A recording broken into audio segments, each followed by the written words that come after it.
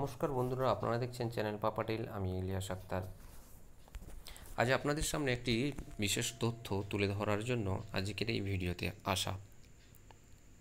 আপনারা দেখছেন ডিসপ্লেতে একটি চিঠি। পশ্চিমবঙ্গের মুখ্যমন্ত্রী, মাননীয় মুখ্যমন্ত্রী মমতা বন্দ্যোপাধ্যায় একটি চিঠি এই ডিসপ্লের মধ্যে দেখতে পাচ্ছেন। সেই চিঠিতে যাওয়ার আগে আজকের দু চারটি কথা আপনাদের সামনে তুলে ধরছি। পশ্চিমবঙ্গের ফাইনাল বর্ষের ছাত্রছাত্রীরা আজ টেন্স রয়েছে টেনশনের মধ্যে রয়েছে। তাদের মধ্যে বিভিন্ন প্রকার প্রশ্ন ঘুরে বেড়াচ্ছে। প্রশ্নগুলি হলো ফাইনাল বর্ষের পরীক্ষা কি নেওয়া সম্ভব? ফাইনাল বর্ষের পরীক্ষা কি দিতেই হবে? ফাইনাল বর্ষের পরীক্ষা কবে হবে?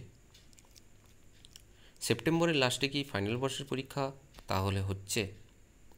বিশ্ববিদ্যালয় এবং পশ্চিমবঙ্গ সরকার বা শিক্ষা দপ্তর কি বলছে? চলুন সেই সম্পর্কিত বিস্তারিত আলোচনা করি।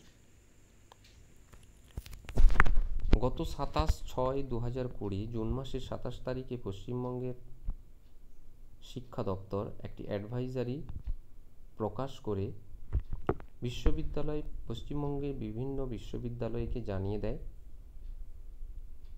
এইটটি টোয়েন্টি রেশিওতে ফাইনাল বর্ষের ছাত্রছাত্রীদের মার্কস প্রদান করে রেজাল্ট পাবলিশ করতে হবে, ফল প্রকাশ করতে হবে। আপনারা নিশ্চয়ই জানেন এইটটি টোয়েন্টি রেশিওটা কি?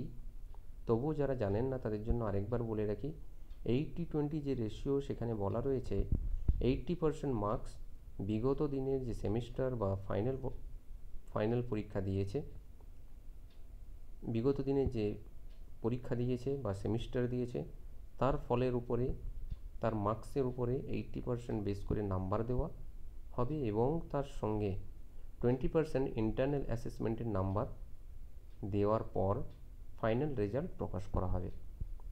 কিন্তু কেন? তার কারণও আপনারা জানেন।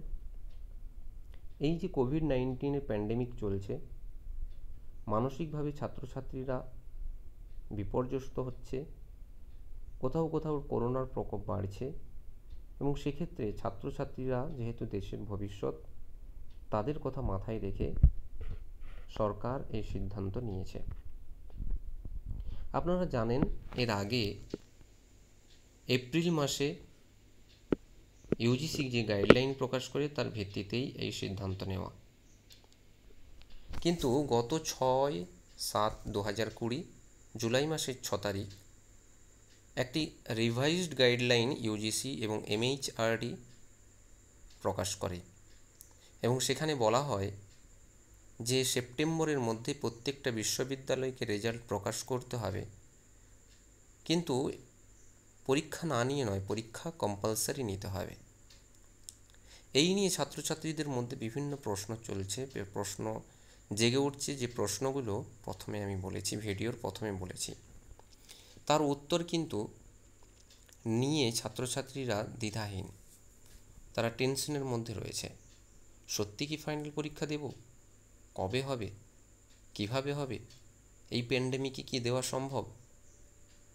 কিন্তু পশ্চিমবঙ্গ সরকার এবং পশ্চিমবঙ্গের শিক্ষা দপ্তর শুধু তাই নয়, পশ্চিমবঙ্গের বিশ্ববিদ্যালয়ের উপাচার্যদের যে পরিষদ, যে সংগঠন রয়েছে ওনারাও এই বিষয়ে বলেছেন। পশ্চিমবঙ্গ উপাচার্যদের যে পরিষদ, ওনারা বলেছেন এক চিঠির মাধ্যমে, সমস্ত বিশ্ববিদ্যালয়ে যেহেতু পশ্চিমবঙ্গ সরকার অ্যাডভাইজারি দিয়ে জানিয়েছে যে এইটটি টোয়েন্টি রেশিওতে রেজাল্ট প্রকাশ করতে হবে, তাই সেক্ষেত্রে পশ্চিমবঙ্গের প্রত্যেকটি বিশ্ববিদ্যালয় যেহেতু কাজ শুরু করে দিয়েছে রেজাল্ট প্রকাশের, ফল প্রকাশের জন্য তো এই পরিস্থিতিতে পরীক্ষা নেওয়াও সম্ভব নয়, কাজ অনেকটাই এগিয়ে গিয়েছে। তাই জন্য উপাচার্য পরিষদের তরফ থেকে যে চিঠি দেওয়া হয়েছে, প্রত্যেকটা বিশ্ববিদ্যালয় উপাচার্যকে সেখানে বলা হয়েছে যে প্রতিটি বিশ্ববিদ্যালয় আলাদা আলাদা করে ইউজিসিকে তাদের তথ্য তুলে ধরবে, তাদের ফল প্রকাশে কতদূর কাজ এগিয়েছে তা তুলে ধরবে। তার সঙ্গে সঙ্গে পশ্চিমবঙ্গের মাননীয় মুখ্যমন্ত্রীও প্রাইম মিনিস্টারকে জানিয়েছেন বিস্তারিত। যে মানবিক দৃষ্টিভঙ্গিতে এবং কোভিড নাইন্টিনের যে প্যান্ডেমিক সিচুয়েশন চলছে, সেক্ষেত্রে পরীক্ষা নেওয়া সম্ভব নয় এবং মানবিক দৃষ্টিভঙ্গি দিয়ে এই পরীক্ষা বিগত দিনের ফল, ফলের উপর ভিত্তি করে ফল প্রকাশ করা হোক। সত্যি এটা দৃষ্টিভঙ্গি, মানবিক দৃষ্টিভঙ্গি দেওয়া উচিত। আপনারাও জানেন, আমরাও জানি। এবং সেখানে মমতা বন্দ্যোপাধ্যায় প্রাইম মিনিস্টারকে বিগত দিনের ইউজিসির যে চিঠি বা গাইডলাইন সেগুলো উল্লেখ করেছেন এবং জানিয়েছেন, তার সঙ্গে সঙ্গে তিনি এটাও বলেছেন যে ইমেল মারফত অনেক ছাত্রছাত্রী এবং গার্জিয়ানরা অ্যাপিল করেছে গভর্নমেন্টকে যে এই পরিস্থিতিতে পরীক্ষা দেওয়া সম্ভব নয়, পরীক্ষা দেওয়া দিতে পারবে না ছাত্রছাত্রীরা। মানবিক দৃষ্টিভঙ্গিতে যেন তাদের দেখা হয় এবং যে পশ্চিমবঙ্গ সরকার যে নিয়ম, যে নীতি বা যে ফল প্রকাশের জন্য রুলস করেছে অ্যাডভাইজারি করেছে, সেই অ্যাডভাইজারি অনুযায়ী রেজাল্ট প্রকাশ করা হোক। এগুলি জানার পর মমতা বন্দ্যোপাধ্যায় চিঠি দিয়েছেন প্রাইম মিনিস্টারকে এবং বলেছেন মানবিক দৃষ্টিভঙ্গিতে যেন দেখা হয়। এর বিস্তারিত আরও জানার জন্য যে সত্যি কি পরীক্ষা দিতে হবে না বা দিতে হবে, তার জন্য হয়তো কিছুদিন ওয়েট করতে হবে আমাদের। ইউজিসির গাইডলাইন যতক্ষণ না আসছে। তো আজকের জন্য, আজকের মতো এখানেই এই ভিডিও সমাপ্ত করেছি। পরবর্তীতে যদি কোনো নোটিফিকেশন কোনো গাইডলাইন আসে, নিশ্চয়ই ভিডিও আকারেই আপনাদের সামনে তুলে ধরব। ভিডিওটি শেষ করার আগে মাননীয় মুখ্যমন্ত্রী কি লিখেছেন লেটারে সেটা শুধু একমাত্র একটু পড়ে শুনিয়ে দিচ্ছি আপনাদের।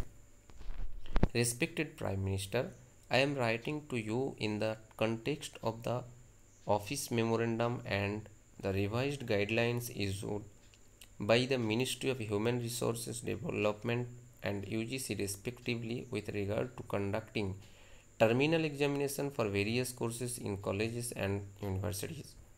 Though we UGC wide its earlier guidelines dated 29 April 2020 clearly stated that the guidelines are advisory and suggestive in nature yet UGC vied its revised guidelines issued on 6 July 2020 has asked all university colleges in the country to compulsorily complete the terminal semester terminal year examination by the end of September 2020. With the current trend of rise in the COVID cases in the country and considering such unforeseen, uncertain, and challenging situation, our government, after extensive consultation with all vice chancellors and stakeholders, issued an advisory on 27th June 2020 to all the state aided university colleges of the state. Our advisory issued in the interest of the health, safety, and future of students provides due weightage of the terminal assessment and the performance of the candidate in the previous semesters in order to ensure transparency. Besides, our advisory has a provision or holding special exams after the situation gets normalized.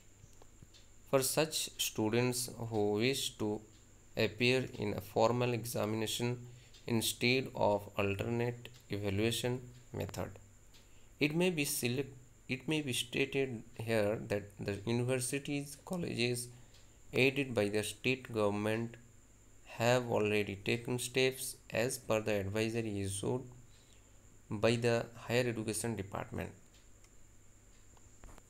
চিঠিটা এখানেই আমি সব পড়লাম আপনারা নিশ্চয়ই বুঝতে পারছেন বিস্তারিত উনি লিখে লিখেছেন প্রাইম মিনিস্টারকে আর কিছুদিন হয়তো ওয়েট করতে হবে যে প্রাইম মিনিস্টারের তরফ থেকে বা ইউজিসির তরফ থেকে এমএইচআরডির তরফ থেকে কি নোটিফিকেশন জারি হয়। আজকে এই পর্যন্ত। আগামী ভিডিওতে বা আগামী ভিডিও পেতে চ্যানেলটিকে সাবস্ক্রাইব করুন অল নোটিফিকেশান অন করে দিন। ধন্যবাদ।